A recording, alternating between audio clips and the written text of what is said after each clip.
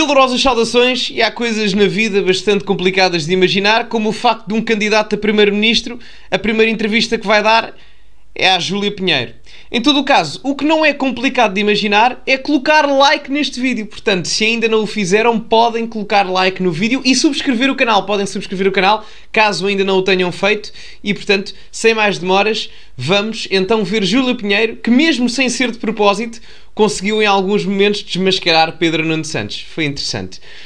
Bom, vamos ver isto. Não veio. Uh... Oi, esperem lá, isto não estava do início, só aqui um erro técnico. Exato. Então, eu tava, tivemos para o ter cá no dia 8 de dezembro Sim. e no dia 7 acontece a admissão do António Costa. E, uh, novembro. Novembro, peço desculpa, foi novembro, tem toda a razão. Uh, e, obviamente, não veio. Uh, ou seja, naquele momento começou uma reflexão que já devia existir há muito tempo, que é, se um dia aparecer a oportunidade, eu avanço como uhum. líder do Partido Socialista. Isso estava na sua cabeça há muito tempo. Não, estava, quer dizer, não vale a pena. Reparem bem como o Pedro Nuno Santos queria começar a entrevista a mentir e disse à, à Júlia Pinheiro que lhe disse: Já pensavas nisto há muito tempo. E ele começa a dizer não, mas depois corrige logo, logo porque se lembrou bem. Eu estou na Júlia Pinheiro, eu não estou a ser entrevistado pelo José Rodrigues dos Santos, isto já foi a semana passada, não preciso de ser humilhado outra vez. Mas já agora, a pergunta que a Júlia Pinheiro fez agora demonstra mais a oposição, mesmo não sendo a opinião dela ou a função dela fazer oposição, isto é um programa da tarde, obviamente, mas do que a entrevista que fizeram ao António Costa na TV. Aquilo mais parecia um salão de festas. Não vale a pena iludir a questão. Não, não, não vale a pena estarmos com coisas como se tudo nascesse no dia 7. Não, não nasceu no dia 7. Obviamente que não estava na cabeça de ninguém. Era que fosse naquela altura. Muito menos na minha que, que, que, era naquela altura. Eu estava muito bem, tinha iniciado o meu espaço comentário na SIC, ainda estava a, a, aprender a ser comentador. As primeiras semanas foram difíceis para mim, sentia-me tenso, e, portanto, mas estava, estava a começar a libertar-me e a gostar de fazer aquilo. E, portanto, estava preparado para um momento Mais dois desse, anos. 2026. Uh, mas pronto. Eu, eu, só que uma análise não deixa de ser interessante que o próprio Pedro Nuno Santos assume que queria ser líder do Partido Socialista já desde há longos anos e não deixa de ser interessante que, na minha opinião, o Pedro Nuno Santos começa a pensar nisso em 2015. Se bem que normalmente, quando as pessoas têm visões ou chegam a determinados cargos políticos, nós podemos achar que ele, desde 2015, que foi quando foi o principal responsável pela negociação com o PCP e o Bloco de Esquerda para a execuibilidade da geringonça, nós podemos achar que foi a partir daí mas pessoas normalmente que têm uma grande ambição começam a pensar nas coisas muito antes. Eu não me admirava nada quando o Pedro Nuno Santos tinha 18, 19 anos, ou quando ele foi líder da JS, se não estou em erro, acho que ele chegou mesmo a ser líder da JS, ele próprio já pensava nisso nessa altura. E atenção, é legítimo as pessoas terem ambição. Não convém é que tenham ambição para ser primeiro-ministro quando não têm capacidade para tal. é uma coisa diferente. A vida é mesmo assim, nós somos confrontados com ela e temos que saber lidar com ela. Por isso, a partir daquele momento, surgiu uma oportunidade uh, num momento que ninguém desejava, nomeadamente os socialistas, eu também não desejava, mas a partir do. do... Só uma parte, não é ninguém desejava. Toda a gente desejava isso, até tu próprio, não é? A realidade é essa porque não estarias à espera. Mas quanto mais depressa António Costa saltasse do poleiro, melhor para Pedro Nuno Santos. Eu digo-vos uma coisa: o Pedro Nuno Santos mais facilmente queria que o André Ventura ganhasse uma eleição do que o António Costa. No momento em que são marcadas eleições, temos que lidar com aquilo. É? Então vamos lá saber coisas sobre si fora do âmbito político. Vamos lá então saber quem era o menino Pedro, uh, Pedro Nuno. Lá em casa era o Pedro Nuno, era o Pedrinho, o Nuninho, era o quê? Era o Pedro. Era o Pedro. era o que brincava com os aviões da Playmobil, só que os dele eram diferentes. Em vez de custarem 5 euros numa loja qualquer, custavam 3,2 mil milhões de euros. Eu, eu tive a sorte de, de, de nascer numa família que estava bem e, de um, e, de um, e por isso tive sempre uma, foi sempre privilegiado desse ponto de vista. Mas estudei numa escola pública e confrontava-me com a diferença. E isso sempre me. me, Uh, me incomodou, sempre me fez muita. Era, muita havia, grandes, havia grandes defesas sociais. Por amor de Deus, por amor de Deus, eu peço desculpa, é que isto não deixa de ser engraçado, porque há duas semanas atrás o homem era um pobre coitado que era neto de sapateira, pá, coitado, coitado, o homem que vinha de famílias humildes, etc, etc. Depois, levou com tantas críticas, porque andou a dizer que era neto de sapateiro e vinha de famílias humildes, porque enfim, era um bocado estranho alguém vir de famílias humildes e depois o pai tinha um Porsche ou ele andava de Porsche e não sei o que, não sei que mais. Enfim, era um bocado estranho. Já para não falar das negociatas de dinheiro público que ele tinha e era acionista da empresa do pai, onde ele próprio trabalhou enfim, eh, mas reparem bem que em apenas duas semanas o discurso muda completamente. Como levou uma avalanche de críticas, agora já assume bem.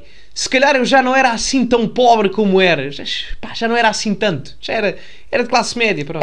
Sim. numa comunidade como essa, não é? Numa, numa cidade fortemente industrializada, com eh, alguns Uhum. é empresários e com muitos trabalhadores. E por isso essa, essa diferença existe, faz, faz- fazia parte do- do- da minha vida eh, e isso tinha impacto em mim. E depois tinha um pai que, apesar de. O de- seu pai era, tinha origens humildes, o seu pai fez a Exatamente. sua vida a pulso, não é? fez, e apesar depois de eu já de ter empresário, quando, quando, quando eu era criança, e ter tido e ter uma vida boa, eh, o meu pai teve também sempre uma consciência muito política, ele teve intervenção política muito O intensa. seu pai era muito à esquerda, não é? Era, É O pai, o pai era muito à esquerda e era empresário. muito à esquerda, No, é? no- a seguir ao 25 de Abril tinha uma intervenção, eh, fez parte da FECML, de uma organização eh, de esquerda muito. e depois, mais tarde, o DP, mas depois Epá, a UDP, ouça, para terem noção, as organizações que o Pedro Nuno Santos está a dizer que o pai dele fez parte são do género estilo à esquerda do bloco de esquerda. Eu não estou a exagerar, literalmente. Portanto, ah, para mim é um bocado estranho alguém que conseguiu se ingrar na via empresarial e ter aproveitado aquilo que o capitalismo e a, e a vertente comercial dá na iniciativa privada ter feito parte desses mesmos movimentos. Porque, sendo assim, aquilo que em termos de riqueza individual o Pedro Nuno Santos e a empresa do pai, etc., conseguiram agregar em termos individuais, se seguissem a sua consciência ética e moral, o dinheiro, os carros e etc., não poderiam ir para eles próprios. Tinha de ir para a sociedade, tinha de ir para a cooperativa nacional. entretanto virou empresário e, e fez o seu caminho. Isto o e fez- capitalismo é assim. É verdade. Fez o seu. Ah, desculpem lá, a Júlia Pinheiro, peço desculpa, mas a Júlia Pinheiro, mesmo sem saber, ah, mesmo sem ser propositadamente, está a fazer um trabalho jornalístico em tom humorístico fantástico, fantástico, mas é isto. A hipocrisia de esquerda. Até o Pedro Nuno Santos admite isto, pá, por amor de Deus. enquanto empresário, mas a Isto é consciência surreal. política esteve sempre lá, o debate e a discussão política em casa foi sempre. eh, Era aberto lá em constante. casa, eh, ou seja, à mesa isso acontecia, era... Sim, era uma, era uma constante. A, a- a discussão política e a reflexão política em, em minha casa fez, esteve sempre presente. Um pai que, entretanto, tinha uma vida como empresário, mas que nunca deixou de pensar e discutir política com, com, com os filhos. Não, é, mais uma vez, enquadra-se num, num espírito de. Estes são jovens turcos. Ah, pois são. Ah, e depois nesta parte aqui, ele aborda aqui nesta parte final, depois de falar aqui da questão da empresa do pai, etc, etc, aparecem aqui quatro companheiros, ok? O quarteto fantástico.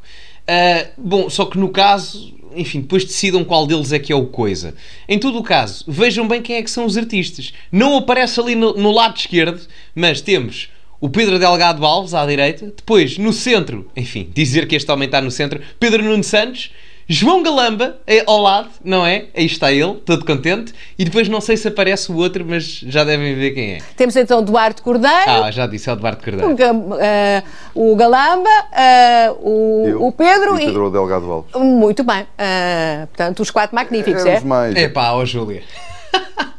Por amor de Deus. É que reparem bem, temos Duarte Cordeiro, que para todos os efeitos ainda não causou tanto estrago ao organismo público do Estado português como o João Galamba e o Pedro Nuno Santos ali, os dois estão sorridentes, mas em todo o caso já esteve envolvido em situações caricatas como levar com tinta verde por parte de ativistas da Climáximo, não é? Enfim, não sendo a culpa deles. Em todo o caso, nesta imagem nós conseguimos ver João Galamba, responsável por avisar José Sócrates daquilo que era a sua investigação na Operação Marquês, também responsável por andar à porrada nos seus próprios gabinetes e também responsável pelas suspeitas de corrupção e prevaricação que o mesmo e o próprio Primeiro-Ministro estão dentro deste novo caso da Operação Influencer que levou à admissão de António Costa. Já Pedro Nuno Santos injetou 3,2 mil milhões de euros numa companhia aérea outrora falida, que agora vem dizer, ah, mas agora já não está falida. Pudera, com uma injeção de capital de 32 pon- 30 3,2 mil milhões de euros de dinheiro que não é teu.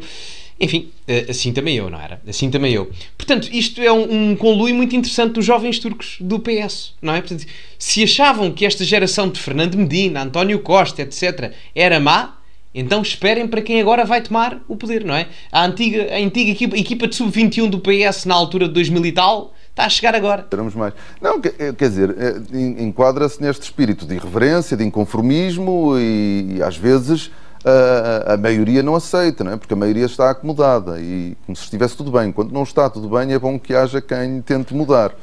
E tente... E só um à parte, é que eles são mais à esquerda do que a ala centrista de António Costa, e digo-vos mais, a ala da juventude socialista de hoje em dia é mais à esquerda do que o Pedro Nuno Santos. Quase a roçar o bloco de esquerda. Eu não estou a exagerar. De melhorar. E por isso sempre tive esse espírito. E na Assembleia da República eu gosto mais do trabalho executivo. E foi mais feliz nos cargos executivos do que na, na, na, Assembleia da República. A Assembleia da República é o órgão mais importante da nossa democracia, é a base da nossa democracia. É a partir dali que nós construímos um governo, um governo que presta contas perante a Assembleia da República, mas eh, o meu perfil é um perfil que se adequa mais a um cargo executivo e, portanto, eu era mais feliz a fazer do que a estar Nesta altura as pessoas estão a pensar, então este homem não passou por uma, uma empresa privada? Passou pela do pai? Não, passou. Ao contrário da maioria, da dos, maioria dos seus colegas da sua geração. Do, e dos que se candidatam a primeiro-ministro, eu passei. Né? Eu peço desculpa, mas isto quer de um lado, quer do outro, há bujardas para todos os gostos. A, a Júlia Pinheiro, anteriormente, a mandar estas bujardas ao Pedro Nuno Santos do pai capitalista, empresário, mas era comunista e não sei o que, não sei que mais. Agora o Pedro Nuno Santos a dizer exatamente aquilo que comprova o que eu estava a dizer. Se anteriormente eu vos tinha dito que ele preferia que o André Ventura fosse primeiro-ministro do que o António Costa, isto aqui sela completamente esse argumento. Não sei se têm noção. Portanto, o António Costa nunca trabalhou na vida. A realidade é essa. O António Costa vive do dinheiro público há cerca de 30 anos, se calhar até mais. Não quero estar a errar em termos quantitativos anuais, mas é à volta de 3 décadas. Portanto, não deixa, não deixa de ser interessante. Não deixa de ser interessante aqui a boca do Pedro Nuno Santos. Não foi na empresa, mas foi numa empresa familiar, foi na sua. Mas isso não é menos, não é menos. Normalmente, a maioria das pessoas passam por empresas dos outros, não é? Eu aqui, atenção, aqui concordo com o Pedro Nuno Santos. Aqui concordo com o Pedro Nuno Santos. Eu nunca trabalhei numa empresa familiar. Enfim, tenho as minhas empresas, não é? Pessoais. Mas concordo com ele. Isso não, não tira mérito a ninguém. a maioria das pessoas não são patrões. Sim. Ser patrão era difícil? Eu, eu não era, não é? Quer era dizer, o seu pai? Era, era o meu pai. Uh, quando muito era difícil, há alguma, alguma relação com o pai no, no em contexto Sim. de trabalho, porque uh, o meu pai era o líder, não era eu. Eu também, só aqui em defesa do, em defesa do seu pai, sou Pedro Nuno Santos. Pá, se fosse o Pedro Nuno Santos a gerir a parte financeira da empresa, se calhar até eu me chateava. Não fosse o Pedro Nuno Santos um dia chegar ao gabinete do pai e dizer: é pá, pai, estamos aqui com um buraco financeiro, já liguei para o Banco de Portugal e para o BCE, pedi-lhes 3,2 mil milhões de euros. Não fosse isso acontecer. Portanto, eu até percebo o pai do Pedro Nuno Santos. Não, não devia ser fácil. Uh, e isso suscitava alguma tensão. Mas eh, eu tive essa experiência. Eu, eu, na, eu, sou um homem de esquerda, mas que nasceu e cresceu no meio de empresas e de empresários. Esse é o meu, o meu espaço. Claro uh, natural, familiar. Essa aprendizagem. De... Claro, o discurso de moderação. Reparem bem como ele está a tentar. A campanha do Pedro Nuno Santos agora é uma moderação completa em termos ideológicos. O homem que passou a vida toda na ala mais à esquerda a negociar com malta que andava na UDP, no Bloco de Esquerda, no PCP, seja onde for, hoje em dia está a dizer: não, não, eu andava no meio dos empresários. Andava no meio dos empresários. Completamente. Aliás, olhem para mim, eu era neto de sapateiro. Sapateiro também é um empresário. Portanto, hum, isto não deixa de ser um bocado hipócrita. Ele aproveita-se disso, que é verdade. Agora, uh, será que isso representa efetivamente as ideias do Pedro Nuno Santos? Claro que não. Mas em todo o caso, não deixa de ser interessante esta tentativa de moderação por parte do mesmo para ir buscar votos ao centro, porque ele à esquerda já sabe que os tem. Não é? E isso e essa experiência eu tive, não era a minha empresa. Bom, mas é verdade. Quando nós olhamos para as empresas, a maioria das pessoas não, não, não são donos de empresas. É verdade, é verdade. Agora, o meu problema com, consigo, Sr. Pedro Nuno Santos, é que dada a sua visão económica ao longo dos anos, nomeadamente dizer que não pagava as dívidas, parecia o outro amigo do MRPP que dizia que as dívidas não existiam, que isso era tudo uma construção social, é que no caso concreto em Portugal, mais de 90% do tecido são PMEs e que ficariam bastante prejudicadas, dada a visão económica que a ala que o próprio representa dentro do Partido Socialista iria prejudicar essa mesma vertente económica da sociedade e do tecido empresarial português. Mas quem sou eu, não é verdade? Uh, já agora, sigam-me nas redes sociais porque eu estou quase a chegar aos 20 mil seguidores no Twitter. Portanto, eu só tenho Twitter há um ano porque eu não gosto muito do Twitter. Só lá fui depois do Elon Musk lá aparecer.